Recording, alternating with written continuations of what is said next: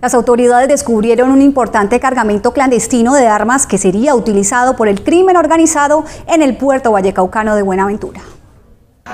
De acuerdo con las autoridades, este armamento tenía como destino el puerto de Buenaventura.